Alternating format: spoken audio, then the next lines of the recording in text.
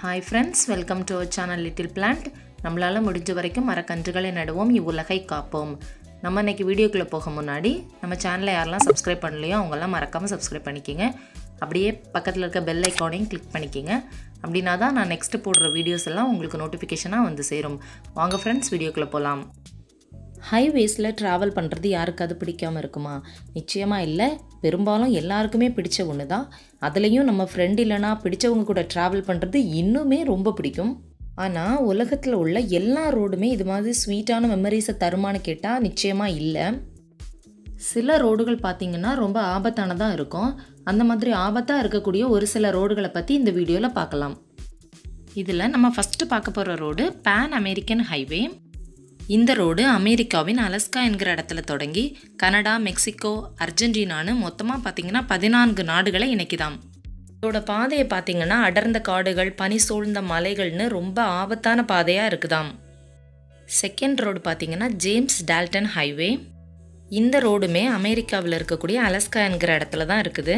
இந்த ரோடை எண்ணெய் சுத்திகரிப்பு ஆலைகளுக்கு தேவையான பொருட்களை எடுத்துகிட்டு போகிறதுக்காக தான் போட்டாங்களாம்.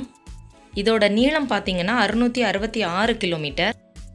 உலகத்தில் தனிமைப்படுத்தப்பட்ட சாலைகளில் இதுவும் ஒன்று டோட்டலாகவே இந்த ரோட்டில் வந்துட்டு பார்த்தீங்கன்னா மூணே மூணு சிட்டிஸ் மட்டும்தான் இருக்குதாம். குளிர் காலத்தில் அதிகமாக பனி இருக்கிற டைமில் இந்த ரோட்டில் யாருமே தனியாக ட்ராவல் பண்ண மாட்டாங்களாம். Next one Atlantic ocean road நார்வேல தான் இந்த ரோடு இருக்குது. உலகத்திலேயே கடல் மேலே உள்ள நீளமான ரோடு இதுதான். இந்த ரோடோட நீளம் பார்த்தீங்கன்னா எட்டு கிலோமீட்டர். இதை கட்டி முடிக்கிறதுக்கு இருபது வருஷம் ஆச்சாம்.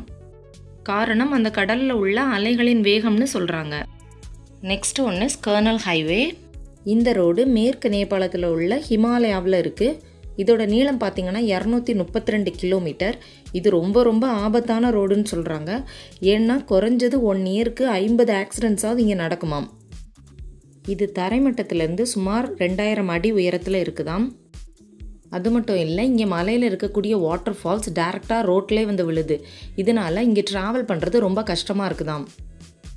கடைசியாக பார்க்க போகிற ரோடு வந்து பேங்கிபையா கிருஷ்வர் ரோடு இந்த ரோடு எங்கே இருக்குதுன்னா நம்ம இந்தியாவில் உள்ள ஜம்மு காஷ்மீரில் தான் இருக்குது.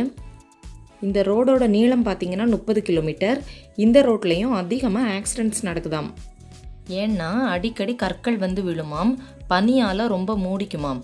அடிக்கடி மழையும் பெய்யுமாம். எப்போ வேணுனாலும் என்னனாலும் நடக்கலாமாம். அதனால தான் ரொம்ப ஆபத்தான ரோடுகளில் இதுவும் ஒன்றுன்னு சொல்கிறாங்க ஓகே ஃப்ரெண்ட்ஸ் இந்த வீடியோ உங்களுக்கு பிடிச்சிருந்தனா லைக் பண்ணுங்கள் ஃப்ரெண்ட்ஸுக்கும் ஷேர் பண்ணுங்கள் இது மாதிரி இன்ட்ரெஸ்டிங்கான வீடியோஸ் பார்க்க நம்ம சேனலுக்கு சப்ஸ்கிரைப் பண்ணுங்கள் மறக்காமல் பக்கத்தில் இருக்க பெல் ஐக்கானையும் கிளிக் பண்ணிடுங்க தேங்க்ஸ் ஃபார் வாட்சிங் ஃப்ரெண்ட்ஸ் நெக்ஸ்ட் வீடியோவில் மீட் பண்ணலாம்.